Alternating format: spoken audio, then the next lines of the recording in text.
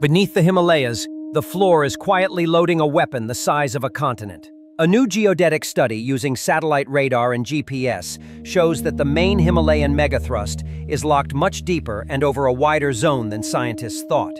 And it has been building strain for 5 to 700 years without a full release. That hidden fault is swallowing about 20 to 22 millimeters of India every year, across roughly 115 kilometers of locked rock, while tens of millions of people live directly above it. The numbers are brutal.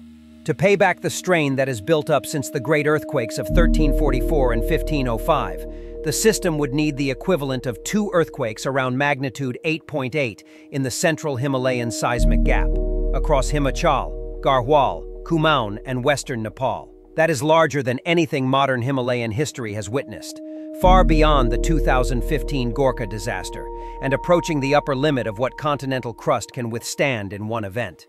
The same modeling also shows that if the entire gap failed in one shot, the minimum magnitude creeps into the 9 range. That would send intense shaking from the Himalayan foothills deep into the Indo-Gangetic plains, where cities, dams, and critical infrastructure have been built under the assumption that something smaller is coming. The science is clear on one point. The megathrust is locked, the strain is there, and the clock above northern India and Nepal is not reset. It is still ticking.